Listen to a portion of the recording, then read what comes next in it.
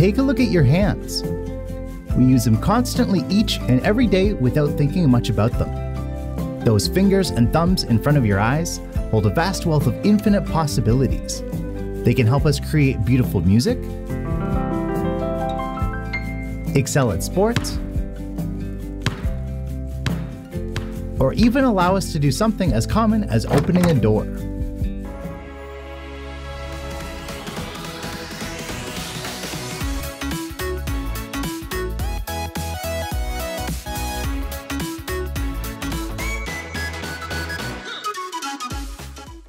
Hidden amongst the ridges and valleys that make up the finger and palm print patterns that are unique for every person on Earth is a world that is hidden from our view.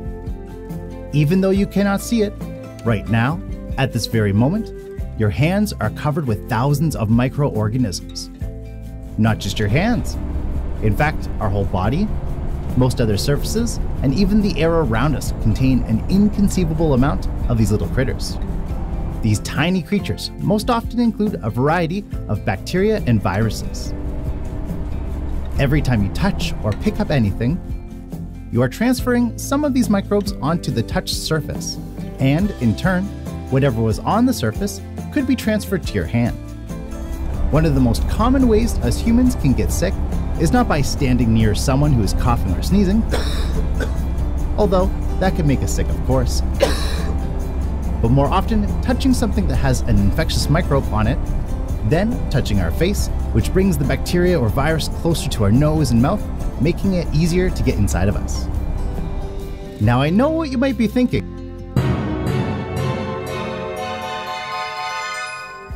Don't worry, there's no need to panic. Most of the time, these microorganisms are perfectly harmless to us. In many cases, actually help protect us from some of the more potentially harmful ones. Sometimes they could even be bacteria or viruses that may infect another animal that has no interaction with us humans. When a harmful microbe does get into contact with our hands, one of the best preventative measures everyone can do to maintain proper hygiene and stay healthy is to wash our hands frequently. You might ask yourself, what is the best way to wash our hands? Can I just wash with water? While hand washing is primarily acting as a flushing mechanism to push bacteria and viruses off our hands, water alone isn't very effective. This is because our hands are usually covered with small layers of oils and greases, either produced by our own bodies or touching an oily surface. Bacteria and viruses often stick to these oils quite well, or they may even get stuck to our hands already being attached to these oils and dirt to begin with and water and oils don't mix well together.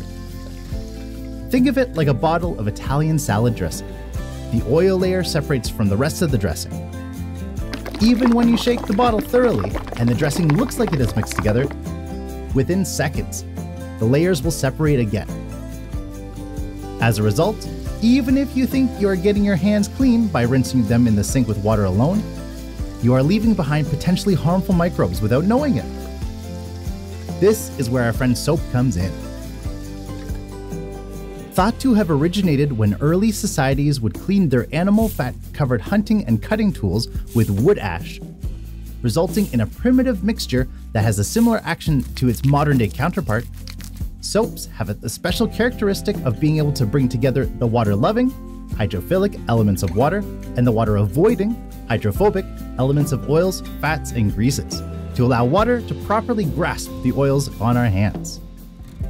Once this connection has been made, you can think of it like going down a slippery water slide.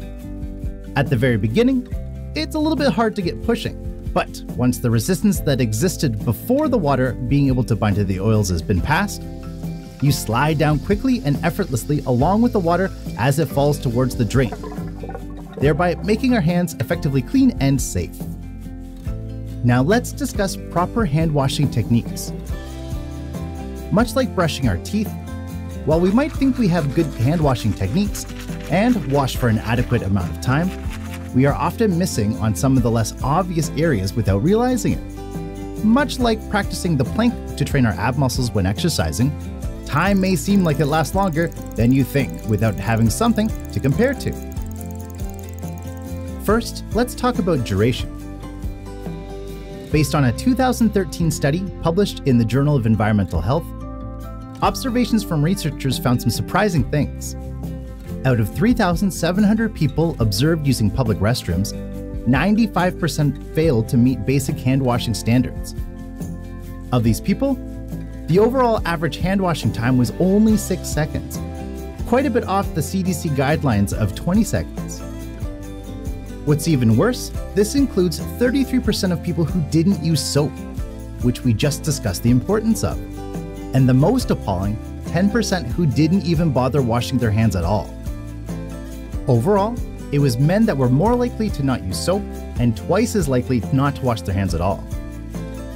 With these numbers starting to give us a pretty good idea that we're not putting too much attention into how long we're washing our hands for, you might be wondering if there's a way to easily time ourselves to make sure that we're washing our hands thoroughly.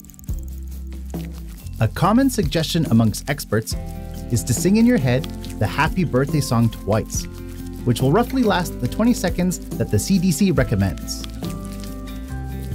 Now let's look at the other shortcoming amongst most people other than how long are we washing our hands? And that is, how comprehensive are we washing every area of our hands? These pictures shown can help highlight areas that are most commonly missed. Whether because of rushing or routine habit, much like brushing our teeth, the same areas of our hands tend to be neglected when washing them on a regular basis.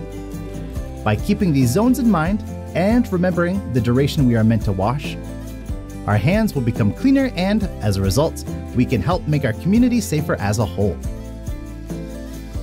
With the knowledge we've gained today, we hope everyone has gained a better understanding and appreciation for the powerful abilities of soap.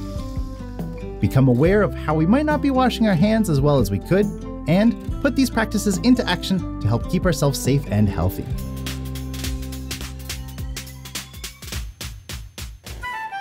Thanks for watching. If you enjoyed the video, like, subscribe, click on the bell icon to get notifications for future videos, and we'll see you in the next one.